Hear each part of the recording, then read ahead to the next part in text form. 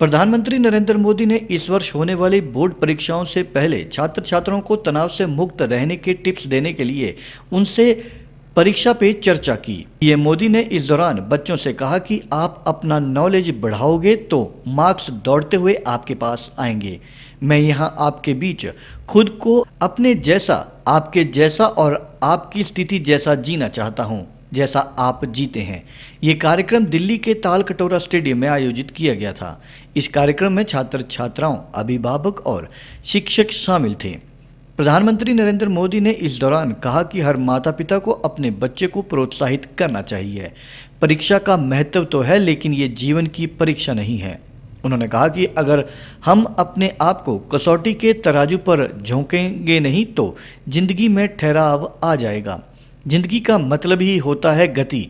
ज़िंदगी का मतलब ही होता है सपने। प्रधानमंत्री नरेंद्र मोदी ने कहा कि जब मन में अपनेपन का भाव पैदा हो जाता है तो फिर शरीर में ऊर्जा अपने आप आती है और थकान कभी घर का दरवाज़ा नहीं देखती है। मेरे लिए भी देश की सवा सौ करोड़ देशवासी, मेरा परिवार हैं।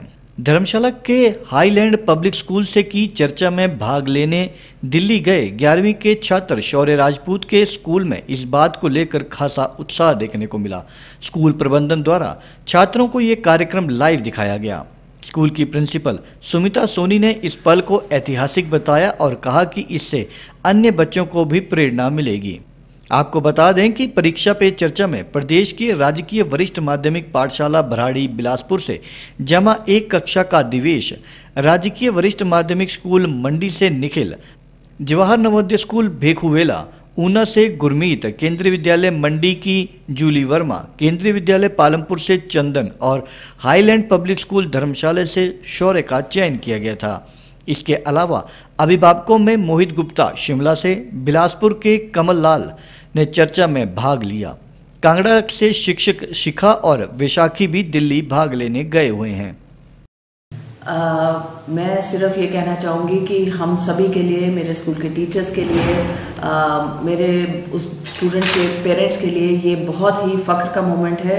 आ, हमारी हमेशा से बच्चों के साथ ये कोशिश रही है कि हम उनकी एक हौसला अफजाई करने के लिए उनको हर इवेंट में पार्टिसिपेट करवाएँ। लास्ट ईयर भी प्रधानमंत्री जी का ये जब शो हुआ था तो हमने बच्चों को ये प्रोग्राम कंप्लीट प्रोग्राम यहाँ पर दिखाया था और आज भी हमने पूरा अरेंजमेंट किया है ताकि बच्चे ये देख सकें। इस साल बच्चों का उत्साह इस प्रोग्राम को देखने को थोड़ा सा अलग है क्योंकि हमारे स्कूल का एक बच्चा शौर्य राजपूत क्लास इलेवन का स्टूडेंट यहाँ से सिलेक्ट हुआ है। तो बच्चों में भी एक बहुत अच्छी सी एक हैप्पीनेस है उनको एक आ, मतलब वेटिंग मोमेंट है। कि हम कब उस बच्चे को अपने प्रधानमंत्री जी के साथ बातचीत करते हुए देखें। And definitely as a school we are all very proud Shaurya के लिए we are feeling very happy all our best wishes for that child may he do well in his life और हमें इस तरह से मौका हमारे बच्चों को मिलता जाए। हम हमेशा इस कोशिश में लगे रहेंगे।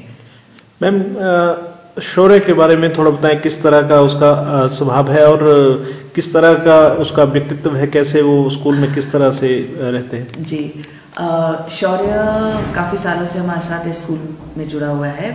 आ, वो काफ़ी शांत स्वभाव का बच्चा है और उसमें कभी भी हमने ये नहीं देखा कि कुछ करने के लिए वो मना करे।